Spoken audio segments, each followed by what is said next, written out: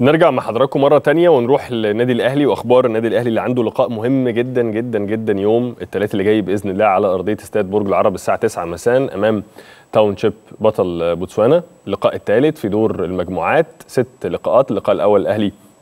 تعادل فيه امام الترجي بعد كده آه، خسر امام كامبالا سيتي آه، في لقاء طبعا صعب الامور على النادي الاهلي عنده لقاءين مهمين جدا اللقاء ان شاء الله اللي هيكون على ارض استاد برج العرب امام تاونشيب بعد كده عنده لقاء الرابع في دور المجموعات امام تاونشيب برضه بس في بوتسوانا اللقاءين دول الست نقاط بتوعهم مهمين جدا النادي الاهلي يرجعوه بسهوله